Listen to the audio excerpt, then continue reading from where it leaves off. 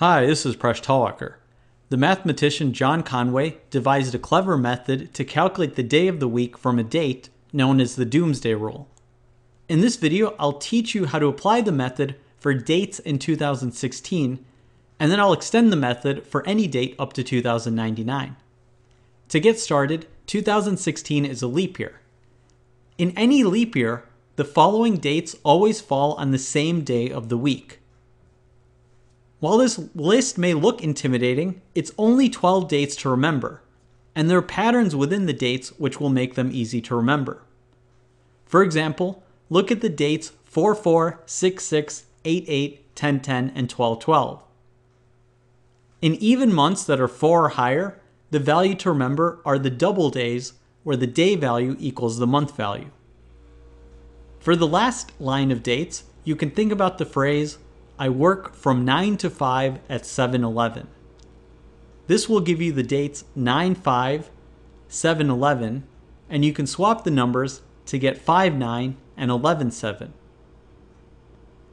The date in March I think about as Pi Day because the constant pi is approximately 3.14. 229 is the last day of February. And you can think about 1 4 because a leap year happens every four years. Now in 2016, January 4th falls on a Monday, which means all of these dates fall on a Monday. This will give you an anchor point within each of the 12 months, which will allow you to compute any other date within the year. For example, what day of the week will Christmas 1225 fall on? We look for our closest reference point, which will be 1212, and we know this falls on a Monday. That means one week later will be a Monday, and two weeks later will also be a Monday. So one day before that will be a Sunday, so 1225 must fall on a Sunday.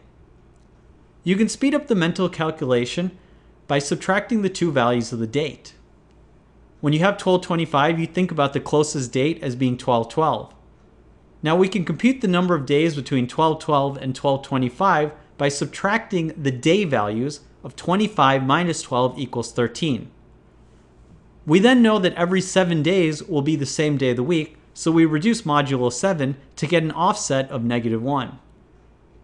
So we need one day before, which is a Sunday. So that means this is another way we figure out Christmas is on a Sunday. Let's do another example. When, which day of the week will July 4th be on? Our closest reference point will be 7 11, which is a Monday. Now, July 4th is one week before that, so our offset will be 0. And that means July 4th will also be on a Monday. Now, if you want to extend this method for any other year, there's one slight modification you want to make. The dates 229 and 14 apply only for leap years.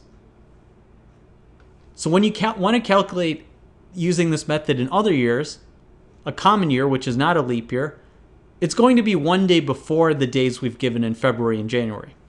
So the last day in February in a leap year is 229, but in a common year it's 228. And for January 4th, we remember that for leap years happening every four years. In a common year, which is the other three years, it happens on 1 3. So you can apply the doomsday method by remembering these dates for common years and leap years they will always fall on the same day of the week. Now, in order to apply this method, you need to know when January 3rd or January 4th falls on. So there's a formula for that. What I like to do is I like to think about the day of the week that New Year's falls on, and then I make the adjustment for January 3rd or January 4th.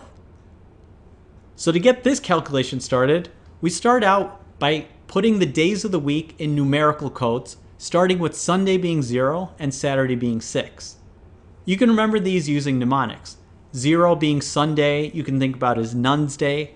1 is Monday or Wednesday. 2 is Tuesday or two a day.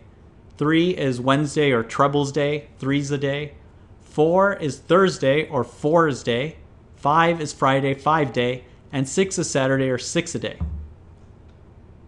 Now here's the formula for calculating the day code for a year. If you have a year 2000 YY, the day code will equal negative 1 plus the year plus the year divided by 4 rounded up, and you take that whole result and make it modulo 7. So let's try and figure out when will January 1st, 2055, which day of the week that'll land on. Our year is 55.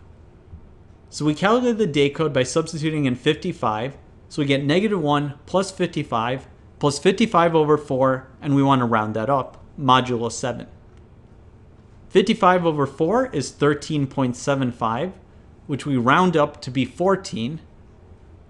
We then end up with 68 mod 7. The closest multiple of 7 will be 63. So 68 is 5 more than 63. So we figured out the day code is 5, which means January 1, 2055 will land on 5 day, which is Friday. So now we can figure out any date in 2055. Like when is December 25th, 2055?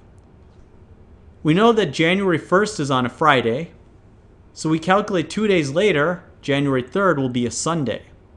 Now we know all of the dates we've memorized will land on a Sunday. So that means 1212 will land on a Sunday, and two weeks later, 1226 will also be a Sunday. Therefore, 1225 will land on a Saturday.